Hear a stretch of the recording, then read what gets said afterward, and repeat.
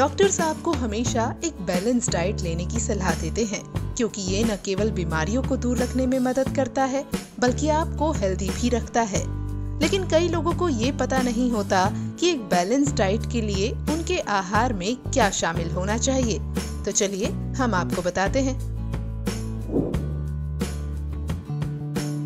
Breakfast दिन का सबसे महत्वपूर्ण भोजन है। एक भरपेट ब्रेकफास्ट ये सुनिश्चित करता है कि आप दोपहर के भोजन से पहले ज़्यादा भूख महसूस न करें। एक्सपर्ट्स के अनुसार ब्रेकफास्ट में आपकी प्लेट में पाँच खास चीज़ें यानी फल सब्ज़ियाँ, ग्रेन्स प्रोटीन और डेयरी होनी चाहिए। प्रोटीन और फाइबर सुनिश्चित करते हैं कि आपका पेट ज़्यादा समय तक भरा रहे जबकि फलों और सब्जियों में पाए जाने वाले कॉम्प्लेक्स कार्ब्स आपको ऊर्जा देते हैं।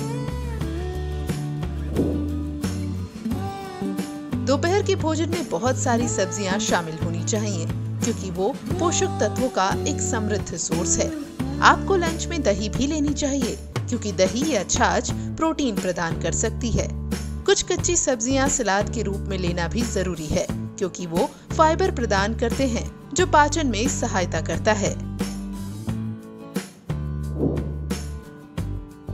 सबसे पहले आपको याद रखना है कि डिनर लाइट करना चाहिए। रात का भोजन प्रोटीन, फाइबर और न्यूट्रिएंट्स से भरपूर होना चाहिए। रात के खाने के लिए एक सब्ज़ी का सलाद, अंडे या हरी सब्ज़ी एक बढ़िया विचार है। रात में किसी भी तरह के ग्रेन्स को न खाने की कोशिश करें, क्योंकि रात में इन कार्ब्स को बर्न करने में प्रॉब्लम्स हो सकती हैं। तो इन चीज़ों को फॉलो करके आप एक बैलेंस डाइट ले सकते हैं और हेल्दी रह सकते हैं।